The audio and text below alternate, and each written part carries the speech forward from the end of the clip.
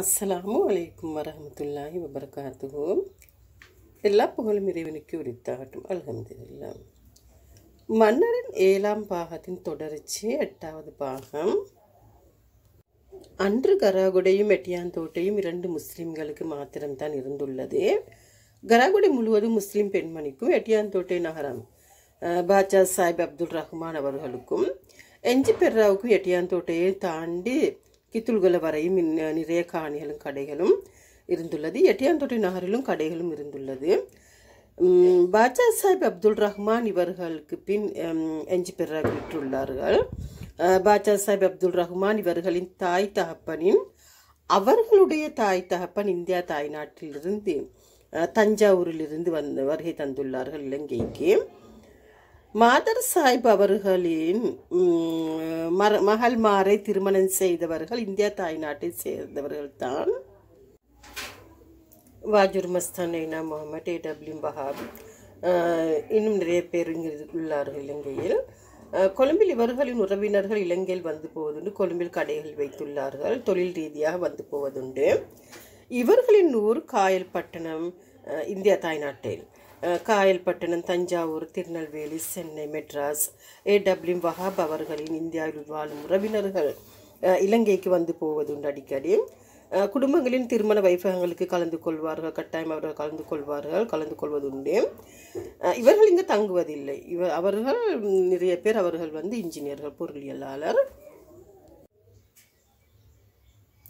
நாம் எமது பள்ளிவாசலை ம், மஸ்ஜிது நூர் ஜும்மா பள்ளிவாசலை சிறப்புமிக்க பள்ளிவாசலாகத்தான் கருதுகின்றோம்.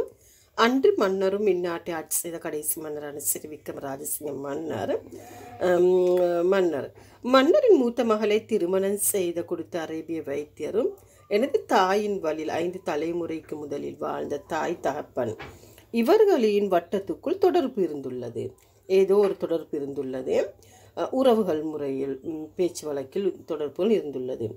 அன்று ஐந்து தலைமுறைக்கு முன்னாடி தலைமுறைக்கு முன்னாடி அன்று தலை இன்றுள்ள தலைமுறைக்கு முன்னாடி ஐந்து தலைமுறைக்கு முன்னாடி.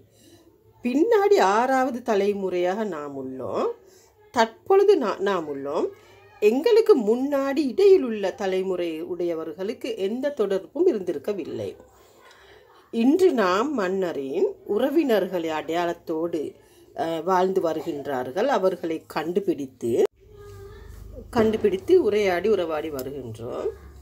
இவர்கள் ஆதாரத்தோடு அவர்களின் அடைய அரசு அங்கீகாரத்தோடு மன்னரின் அடை அடையாளத்தோடு பட்டத்தரசின் அடையாளத்தோடு மன்னரின் மகளின் வாரிசு என்ற வகையில் இந்நாட்டுக்கு பல சேவைகளை செய்து கொண்டு அவர்களை அடையாளத்தோடு அவர்கள் வாழ்ந்து வருகின்றார்கள். ஆனால் இவர்களை வந்து இவர்கள் வந்து அரசு அங்கீகாரத்தோடு வெறும் பேச்சு வழக்கிலோ கதைகளாகவோ மாத்திரமல்ல இவர்களுடைய அடையாளம் ஒவ்வொன்றுமே மன்னரின் வாரிசுகள் உறவினர்கள் பட்டத்தரசியின் வாரி சகோதரனின் வாரிசுகள் என்று அடையாளமாகவே உள்ளது. அது மட்டுமல்லாது அவர்கள் அவர்களுடைய சேவைகள் வந்து இந்த நாட்டுக்கு ஒரு பெரும் மாபெரும் ஒரு சேவையாகத்தான் இன்று உள்ளது.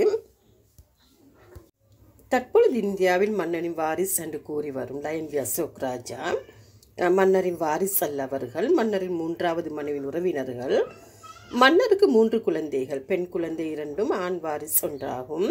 மன்னர் ஆட்சியில் இருக்கும் பொழுதே மன்னருக்கும் பட்டத்தரசிக்கும் பிறந்த வாரிசு திருமண வயது அடைந்திருந்தார். மன்னர் பதினேழு ஆண்டு காலம் இலங்கையை ஆட்சி செய்துள்ளார். பதினாறு ஆண்டு காலம் சிறைவாசம் வாழ்ந்துள்ளார்.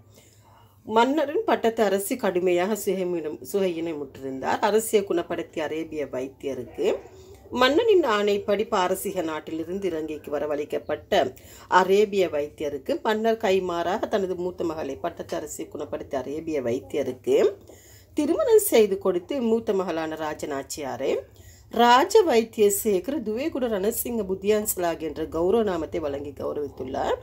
ஏனைய இரண்டு குழந்தைகளும் சிறு வயதிலே இறந்து விட்டனர்.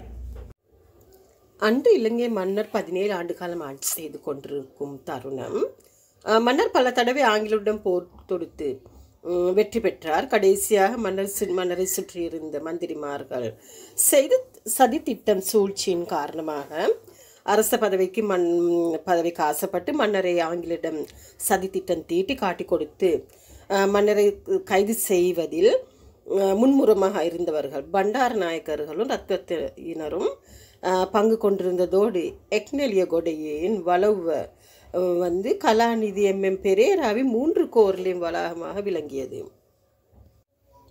மன்னரை கைது செய்து கொழும்பி சிறை சிறிய சிறை கூடம் செய்து தடுத்து வைத்தவை வைத்துள்ளார்கள் என்ற ஆங்கிலேயர்கள். அரசியின் தங்க ஆபரணங்களை காதுகளிலிருந்து இழுத்து கிழித்து அடித்ததனால் அரசி நாடு கடத்தப்பட்ட போது